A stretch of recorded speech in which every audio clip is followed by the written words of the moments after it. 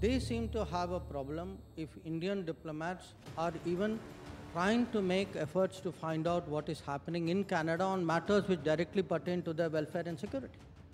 But look what happens in India. Canadian diplomats have no problem going around collecting information on our military, on our police, profiling people, targeting people to be stopped in Canada. So apparently, the license that they give themselves is, you know, is totally different from the kind of restrictions that they impose on, uh, uh, on diplomats uh, in Canada. NDTV world summit में विदेश मंत्री S Jaishankar ने Canada के मसले पर जो बात कही वो ज़बरदस्त चर्चा में है निज्जर हत्याकांड में भारत के खिलाफ झूठ के बीज बोने में नाकाम ट्रूडो सरकार के दोहरे रवैये पर निशाना साधते हुए एस जयशंकर ने कहा कि कनाडा को भारतीय राजनयिकों से दिक्कत है। Canada has just they they asked us to subject our high commissioner to a police inquiry you can say and we chose to withdraw the high commissioner and diplomats now by you know, look look at it. They seem to have a problem if Indian diplomats are even trying to make efforts to find out what is happening in Canada on matters which directly pertain to their welfare and security. But look what happens in India. Canadian diplomats have no problem going around collecting information on our military, on our police, profiling people, targeting people to be stopped in Canada. So apparently, their, the license that they give themselves is, you know, is totally different from the kind of restrictions that they impose on, uh, uh, on diplomats uh, in Canada.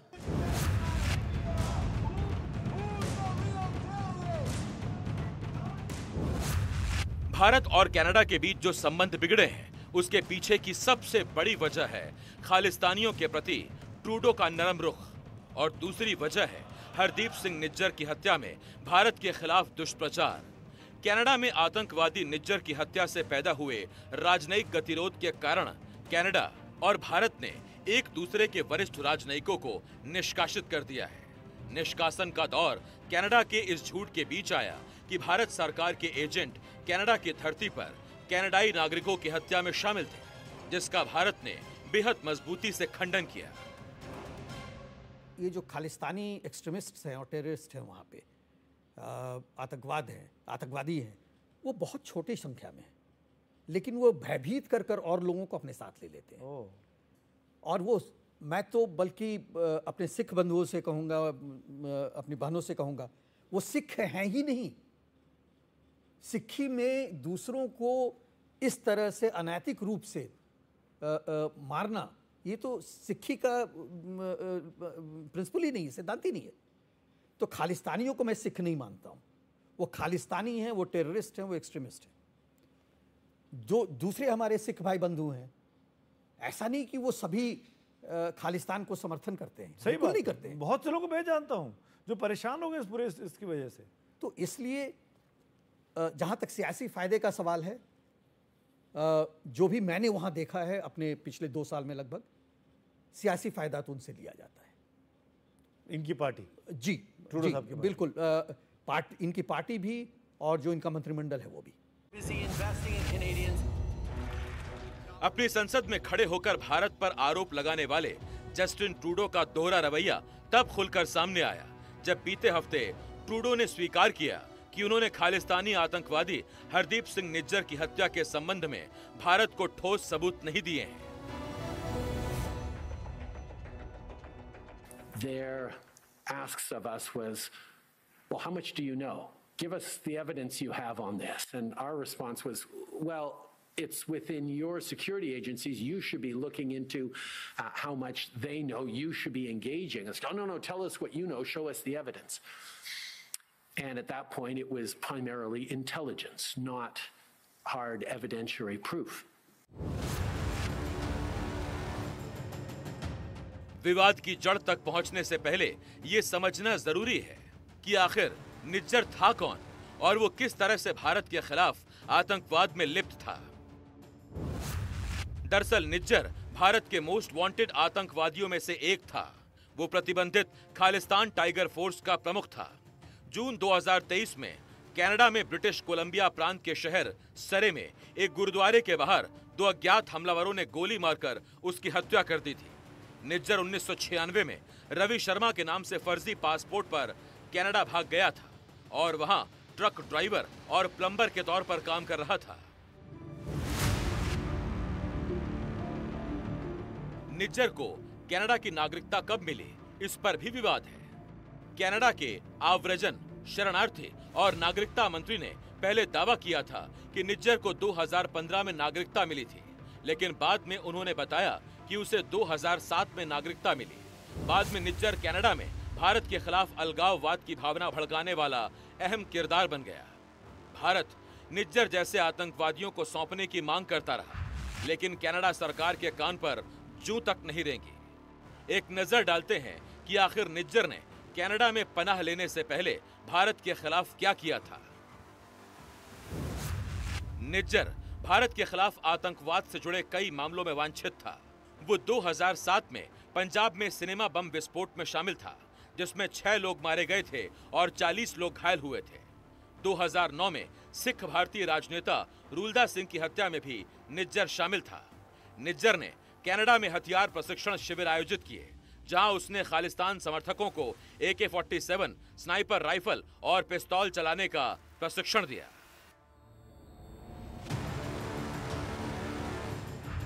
Nijjar का ये पुराना video देखिए, जिसमें वो British Columbia के एक training camp में ए के फोर्टी सेवन लहरा रहा है और गोली चला रहा है। निज्जर ने जून 2014 में संयुक्त राष्ट्र मुख्यालय जाकर पंजाब की कथित आज़ादी की पैरवी की। जिसके तुरंत बाद भारत ने नई दिल्ली में इंटरपोल के राष्ट्रीय केंद्रीय ब्यूरो के माध्यम से निज्जर की गिरफ्तारी का वारंट जारी किया। लेकिन कनाडा, निज्जर तो क्या किसी भी खालिस्तानी आतंकवादी को सौंपने को तैयार नहीं हुआ? कनाडा की ज़मीन पर भारत विरोधी गतिविधियाँ चलाई जाती हैं। राजनयिकों को जान से मारने के लिए उकसाने वाले पोस्टर लगाए जाते हैं। इंदिरा गांधी की हत्या की झांकी निकाली जाती है। और तो और भारतीय नेताओं की हत्या का फरमान भी जारी किया जाता है। कई बार जो मैं स्लोगन सुनता हूँ ये जो तथाकथित ये प्रोटेस्ट करते हैं जो कि गुंडागर्दी है तो ये ये जो गुंडागर्दी में जो भाष अपना स्लोगन करते हैं उसमें बहुत बार रहता है कि हिंदू भारत जाओ भार अ, भारतीय मूल के लोग भारत जाओ। भारतीय मूल के वो हैं लेकिन वो कहाँ जाएँगे? वो उनका देश उतना ही है जितना कि दूसरों का है। तो कभी कभी मुझको बड़ा बहुत दुख होता है यह देखकर कि एक इतने अच्छे समाज को किस तरह से ये मुट्ठी भर खालिस्तानी। बिल्कुल डरा के धमका के ले जाते हैं प्रोटेस्टर्स को? बिल्कुल। पैसे का लालच देते हैं? ज़्यादातर पैसे के लालच से। कुछ लोगों को इस कुछ लोग इसलिए भी आते हैं कि अगर वो आ, एंटी इंडिया अगर वो भारत विरोधी कार्रवाई में नज़र आते हैं तस्वीरें आ जाती हैं तो वहाँ पर असाइलम के लिए अप्लाई कर देते हैं। और वहाँ का वहाँ की जो वहाँ का तंत्र इस तरह का है कि ये जो फार्स चीज़ हो रही है जो गलत चीज़ हो रही है उसको पकड़ भी नहीं पाता है। और वो असाइलम के लिए अप्लाई करते हैं फिर वो आगे बढ़ते चले जाते हैं। जिस आतंकवादी की हम लोग बार बार बात करते हैं निज्जर की उसने भी वही किया था। खुफिया जानकारी के मुताबिक निज्जर ने आईएसआई की सहायता से पाकिस्तान में प्रशिक्षण लिया था और देश में दूसरे खालिस्तानी नेताओं के साथ संबंध बनाए रखा था। उसने पंजाब और भारत के अन्य हिस्सों में आतंकवादी गतिविधियों के लिए धन भी जुटाया था। निज्जर, शुरू में बी के आई यानी बब्बर खालसा इंटरनेशनल का संचालक था। लेकिन बाद में वो पाकिस्तान के खालिस्तान टाइगर फोर्स के प्रमुख जगतार सिंह तारा के संपर्क में आया। पंजाब के पूर्व मुख्यमंत्री बेअंत सिंह के हत्यारे जगतार सिंह तारा ने ही निज्जर को कट्टरपंथी बनाया था। फिर आईएसआई ने उसे 2012 और 2013 में हथियार और विस्फोटक से जुड़े प्रशिक्षण देकर खोखार आतंकवादी बनाया। निज्जर की आतंकी गतिविधियाँ इस तरह की थीं कि 2018 में पंजाब के तत्कालीन मुख्यमंत्री कैप्टन अमरिंदर सिंह ने कनाडाई प्रधानमंत्री जस्टिन टूडो को जो मोस्ट वांटेड की सूची सौंपी थी, उसमें निज्जर का नाम शामिल था। कनाडा के अखबार द ग्लोब और डेली मेल ने इस बात की पुष्टि करते हुए रिकॉर्डिंग भी प्रकाशित की थी कि निज्जर ने वास्तव में भारत के खिलाफ नफरत का प्रचार किया था। सिख समुदाय के सदस्यों को भारत के खिलाफ हथियार उठाने के लिए उकसाया था। खुफिया एजेंसियों के मुताबिक निज्जर सिख फॉर जस्टिस के संस्थापक गुरपतवंत सिंह पन्नू के साथ मिलकर काम कर रहा था और उसे आतंकवादी गतिविधियों को अंजाम देने में सहायता कर रहा था। सवाल ये है कि भारत के ऐसे मोस्ट वांटेड आतंकवादी के पीछे ट्रूडो क्यों खड़े हो गए? दरअसल ट्रूडो जैसे जैसे खुद को राजनीतिक तौर पर कमज़ोर पाते गए, वो खालिस्तानी अलगाववादियों के हाथों में खेलने लगे। ट्रूडो का भारत विरोधी एजेंडा 2017 में बेहद खतरनाक स्तर पर पहुँच गया। उन्होंने टोरंटो में खालसा दिवस परेड में भाग लिया और खालिस्तान अलगाववादी झंडे के सामने भाषण भी दिया।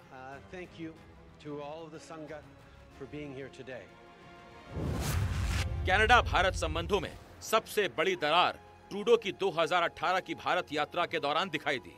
ट्रूडो के दल में जसपाल अटवाल भी शामिल था, जिसे 1986 में वैंकूवर दौरे पर आए पंजाब के कैबिनेट मंत्री मलकियत सिंह सिद्धू की हत्या की कोशिश के मामले में दोषी ठहराया गया था। उस समय Atwal International Sikh Youth Federation का सदस्य था। आखिर ट्रूडो खालिस्तानियों के हाथों में क्यों गिरते चले गए? इसका जवाब राजनीतिक है। जस्टिन ट्रूडो 2015 में कंजर्वेटिव पार्टी को हराकर सत्ता में आए, जो 10 साल से सत्ता में थी। ट्रूडो की लिबरल पार्टी की सरकार ने कनाडा में सिख तुष्टिकरण की नीतियाँ अपनाई और चुनावी लाभ के लिए खालिस्तान समर्थक भावनाओं को भड़काया। वजह, राजनीतिक समर्थन जुटाना ही थी। अगर कनाडा की संसदीय तस्वीर देखें तो मामला और साफ़ हो जाता है। Questions orales, oral questions. 338 सीटों वाले कनाडा के हाउस ऑफ़ कॉमन्स में लिबरल के पास 154 सीटें थी। कंजर्वेट्स के पास 119 और एनडीपी के पास 24 सीटें थी जबकि ब्लॉक क्यूब क्वाइस के पास 32 सीटें। ट्रूडो की लिबरल पार्टी ने वामपंथी झुकाव वाली न्यू डेमोक्रेटिक पार्टी के साथ 2022 में समझौता कर सरकार बनाई। एनडीपी नेता जगमीत सिंह कुख्यात खालिस्तानी अलगाववादी है। सरकार चलाने के दबाव में ट्रूडो जगमीत सिंह के खालिस्तानी एजेंडे पर और आगे बढ़कर खेलने लगे। महँगाई और रहन सहन के खर्च में बढ़ोतरी, यानी आम कनाडाई के मुद्दों पर उनका ध्यान नहीं गया। लिहाजा दोनों पार्टियों की लोकप्रियता घटती चली गई। गलत फैसलों के चलते ट्रूडो की रेटिंग गिर गई। ताज़ा सर्वे बताता है कि लिबरल पार्टी की लोकप्रियता महज तेईस फ़ीसदी ही रह गई है। जबकि कंजर्वेटिव उनतालीस फ़ीसदी तक पहुँच गए हैं। ट्रूडो की गिरती साख देखकर जगमीत सिंह की एनडीपी ने भी सितंबर 2024 में ट्रूडो की सरकार से अपना समर्थन वापस ले लिया। इसके बाद से ट्रूडो की सरकार अल्पमत में चल रही है। अब तो आलम यह है कि ट्रूडो की पार्टी के भीतर ही बगावत हो रही है। लिबरल पार्टी के 20 सांसदों ने ट्रूडो से पीएम की गद्दी छोड़ने की मांग की है। उनकी अपनी ही पार्टी के सांसद चाहते हैं कि ट्रूडो 2025 के चुनाव में प्रधानमंत्री पद की रेस में शामिल न हो। कहीं ट्रूडो उस नाटक के दुखद अंत की तरफ़ तो नहीं बढ़ रहे जिसकी पटकथा खुद ट्रूडो ने ही लिखी है।